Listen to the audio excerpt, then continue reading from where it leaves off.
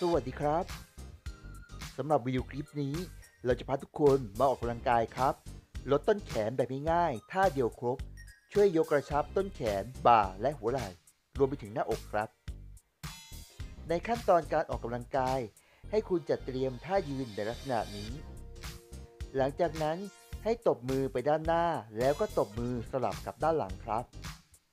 ท่านี้จะสามารถช่วยสลายไขมันส่วนเกิน ยกกระชับต้นแขน บ่า และหัวไหล่ได้เป็นอย่างดี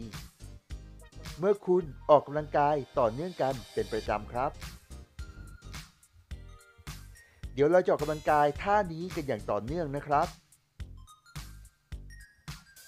ทางด้านขวามือและทางด้านซ้ายมือแบบพร้อมกันครับ ทั้งหมด 20 ครั้ง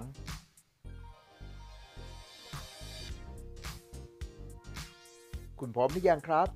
ถ้าพร้อมแล้วเริ่มเลยนะครับ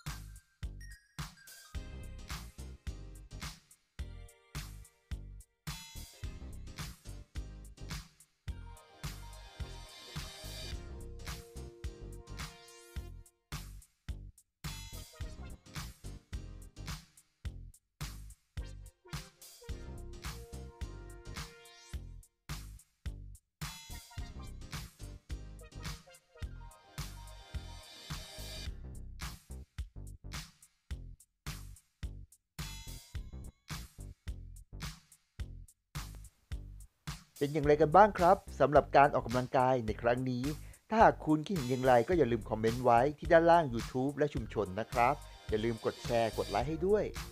และสำหรับในวิดีโอคลิปนี้ ผมและทีมงานต้องขอกราบขอบคุณทุกท่านมากนะครับ ที่เข้ามารับชม แล้วมาออกกำลังกายด้วยกัน และด้านข้างมีปุ่ม Subscribe รวมไปถึงกระดิ่งแจ้งเตือน และอีกด้านหนึ่งเป็นวิดีโอคลิปใหม่ๆน่าสนใจครับ เรารักทุกคนมากเลย อยากให้ทุกคนมีสุขภาพดี แล้วอย่าลืมมาออกกำลังกายด้วยกันใหม่ในครั้งต่อไปนะครับ ครั้งนี้ขอบคุณครับ แล้วเจอกันครับ